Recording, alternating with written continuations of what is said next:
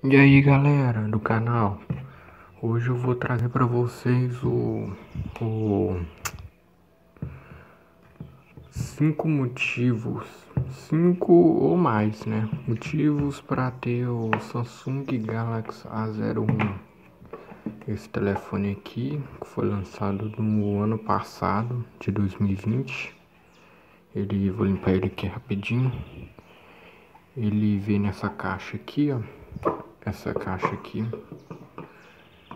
Veio com fone de ouvido e veio também com carregador. Esse carregador aqui.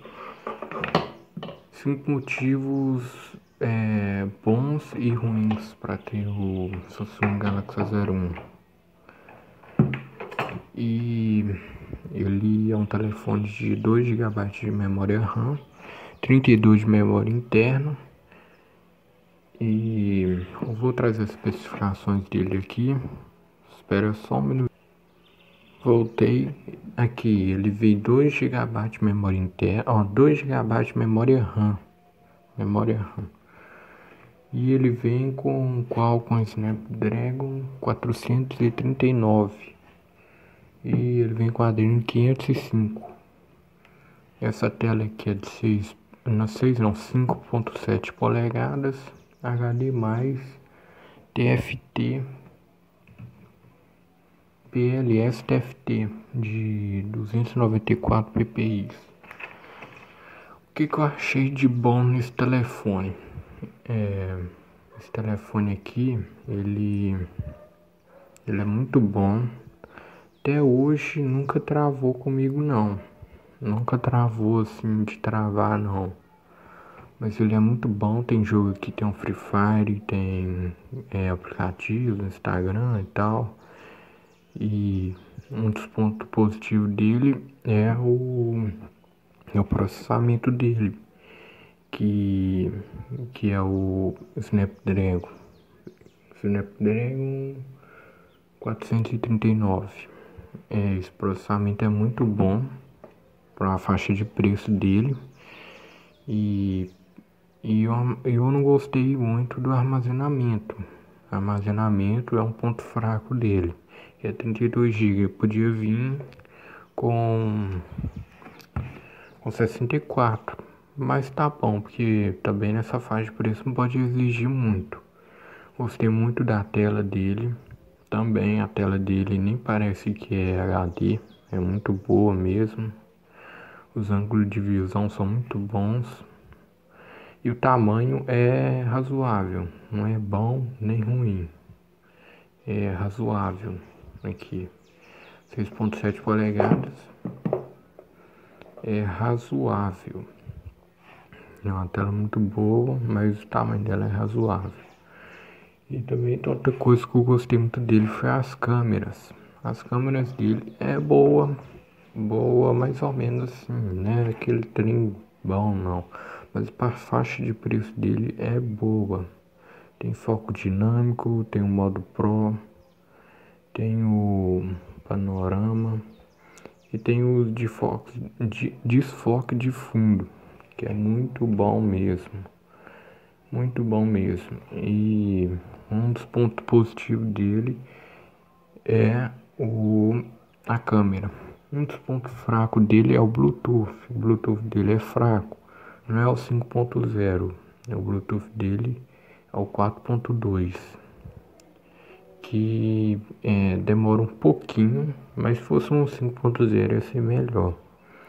E também um dos pontos positivos dele que eu gostei foi o reconhecimento facial, que nessa faixa de preço eu nem sabia que tinha. Telefone com reconhecimento facial e também e também foi o as atualizações dele de segurança é muito boa. O Android dele também é muito bom, tudo atualizado. A One UI da Samsung também, ó, dá para você fazer várias coisas. Ela é dividida, dá para você esconder apps, ocultar, né? Apps, dá para fazer um tanto de coisa nessa nessa tela, nessa One UI 2.0. E isso daí é muito bom. Tem outra coisa que eu gostei muito nele, que é esses gestos também, que também tá na One UI e tudo. É muito bom esses gestos, ocupa, não ocupa tanto espaço aqui, só fica essa pontinha aqui, que é muito bom mesmo. Outro ponto que eu achei razoável também foi a bateria. A bateria não é um 4000 mAh, é 3000. É, é pouco, pouco para os padrões atuais, que já tem 5 mil, 6 mil, 7 mil. Mas até que é bom, ela dura mais ou menos um dia. Mais ou menos assim, um dia ela dura. Então é razoável, né? Bom nem ruim, é razoável. E também eu gostei muito da filmagem dele, ele, é, a traseira dele filma até Full HD. Isso é muito bom pela faixa de preço, é muito bom mesmo, filmar até Full HD. E a frontal também filma até Full HD também. E é muito bom, né? Não é 4K, mas já é Full HD. E também tem o tem o, os temas também, dá para você colocar temas. Aqui, ó. Pera aí. Dá para você colocar. Ele é mais a One UI do aparelho. Dá para você colocar temas no telefone. E é muito bom mesmo. O que marcou mesmo a Samsung foi a entrada micro também, a entrada é micro aqui. Entrada é micro e o alto o alto-falante, a saída de som na traseira, que é muito ruim.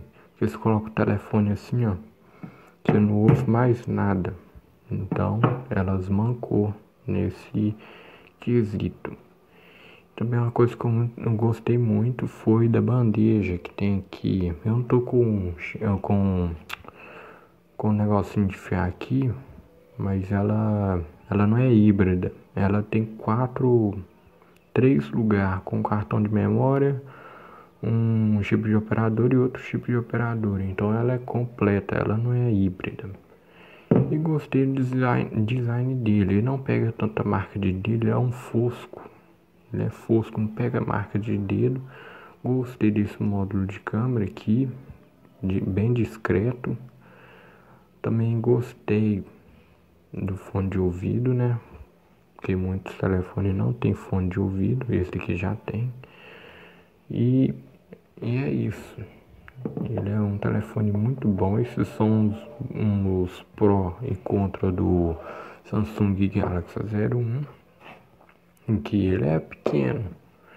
Que tamanho dele? Ele é pequeno. Mas para um celular de 600, 700 reais tá bom, porque porque ele é bem bom mesmo. E é isso.